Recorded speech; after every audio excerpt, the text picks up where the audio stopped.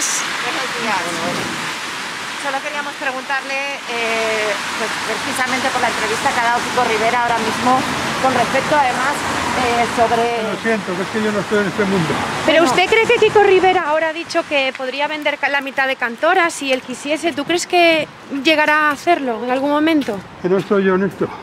Eh, él ha pedido que ver otra vez el testamento. ¿Eso podría volver otra vez a, a pedirlo? Verdad, gracias. ¿No quiere usted decir nada? Por último, usted- ha, di- ha dicho también gracias. que cuando firmó lo de la mitad de Cantora que él no era consciente de eso. Usted imagino que sí que lo sabía.